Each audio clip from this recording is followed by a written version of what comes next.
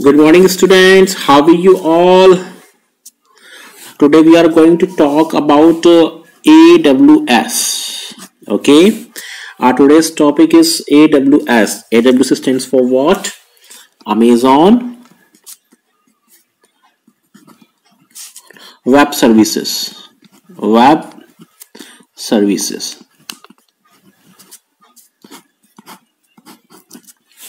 Okay. So uh, let's start about Amazon Web Services. See, AWS is a comprehensive evolving cloud computing platform provided by Amazon that includes a mixture of infrastructure as a service, IaaS, infrastructure as a service, platform as a service, okay, and packaged software as a service offerings. AWS services can offer an organization tools such as compute power, database storage, and content delivery services. So once again, AWS is a comprehensive evolving cloud computing platform provided by Amazon that includes a mixture of infrastructure as a as a service, platform as a service, and software as a service. Okay. So AWS launched in 2006 from the internal infrastructure that Amazon.com built to handle its online retail operations. AWS was one of the first companies to introduce a pay-as-you-go cloud computing model that scales to provide users with compute storage or throughput as needed. What? Pay as you go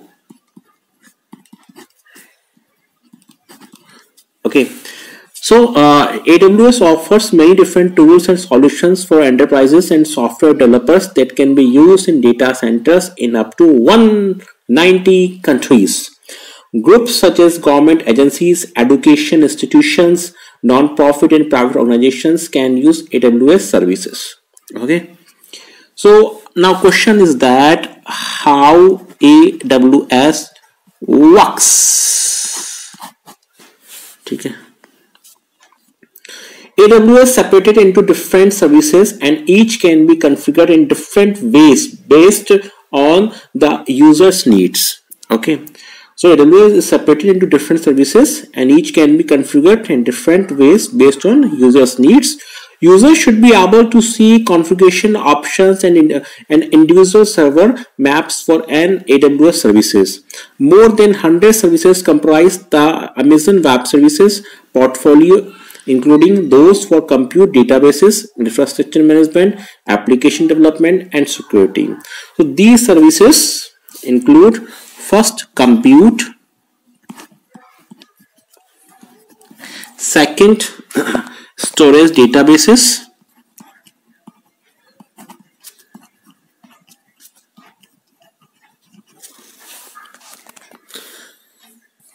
third data management data management.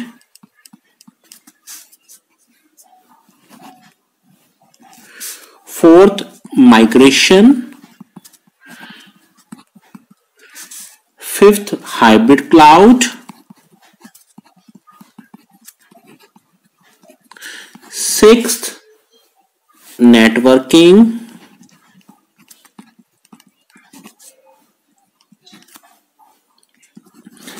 seventh development tools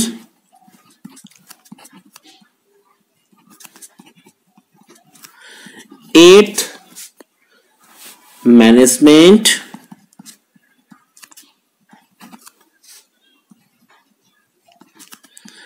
ninth monitoring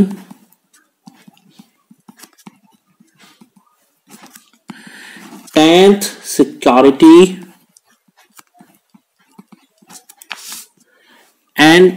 governance.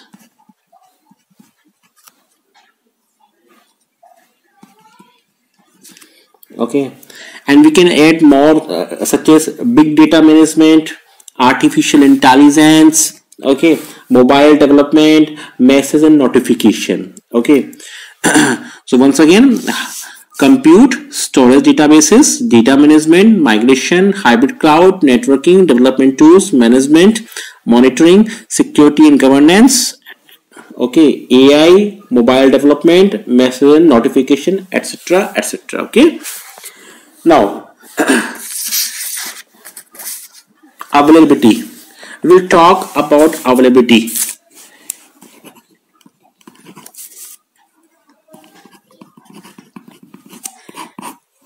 okay Amazon Web Services provides services from dozens of data centers spread across availability zones in regions across the world. So availability zones represents uh, availability zones represent a location that typically contains multiple physical data centers, while a region is collection of of availability zones in geographic proximity proximity connected by low latency network links.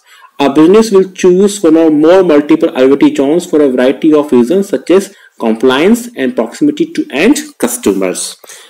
Okay guys, next let's talk about storage. Amazon uh, simple storage service S3 okay simple storage service I mean simple storage service. S3 Pro provide scalable object storage for data backup archival and analytics and IT professional stores data and files as S3 object which can range up to 5 GB okay inside S3 buckets to keep them organized. A business can save money with S3 through its infrequent access storage tier or use Amazon Glacier for long-term cold storage. Next, database data management. The Amazon, the Amazon next database data management. The Amazon Relational Database Service which includes options for Oracle, okay oracle sql server. Okay mysql. Mariadb and proper and and high performance database called amazon aurora provides a relation database management system for aws users. Okay. Now migration migration hybrid cloud we will discuss migration we will discuss now uh, migration okay AWS includes various tools and services designed to help users migrate applications database services and data onto in onto its uh, public cloud. The, the AWS Migration Hub provides a location to monitor and manage my migrations from on-premises to the cloud. Once in the cloud, system manager helps an IT team configure on-premises servers and AWS instances. Now, networking. See, now we'll discuss about networking. Okay. And Amazon VPC, you know, VPC. What does it mean? It means Amazon Virtual virtual private cloud gives an administrator control over a virtual network to use an isolated section of the AWS cloud. AWS automatically provisions new resources within a VPC for extra protection. So admins can balance network traffic with, with the with the ELB. You know ELB ELB stands for Elastic Load Balancing Service, which includes the application load balancer and network load balancer. AWS also provides a domain name system called Amazon Route. Amazon Route. Okay. That routes end users to applications. Okay. Next. Next, we will talk about uh, development tools. Okay. AWS SDKs are available for a variety of platform and programming languages including Java, PHP, Python, C++, Android, C++, Android, etc. Okay, so our development team can continuous integration and continuous delivery pipelines which service like AWS, code pipeline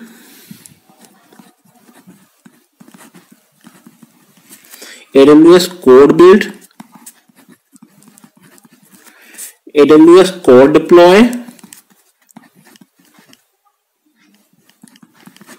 AWS code star AWS code star okay guys next management and monitoring okay see uh, an admin can manage and uh, track cloud resource configuration via AWS config and AWS config rules. What? Uh,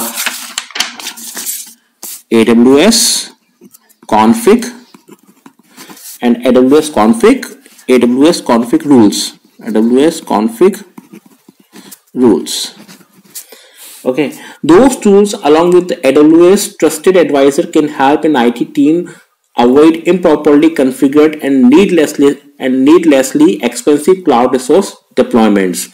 So AWS provides several automation tools in its portfolio and admin can automate infrastructure provisioning via AWS Cloud Formation templates and also use AWS and also AWS automate infrastructure and system configurations. Next, security and governance.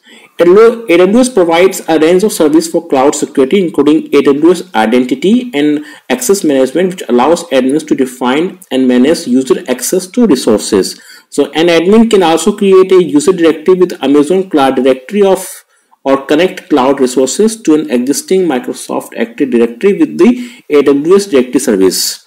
Additionally, AWS organizing enables a business to establish and manage policies for multiple AWS accounts. Okay. So uh, major thing is that okay uh, we have to focus on these things. First compute. Second storage databases. Third data management. Migration hybrid cloud networking development tools management monitoring security and governance. Okay so it was all about aws amazon web services i hope you must have got knowledge Thank you very much and take care of your health.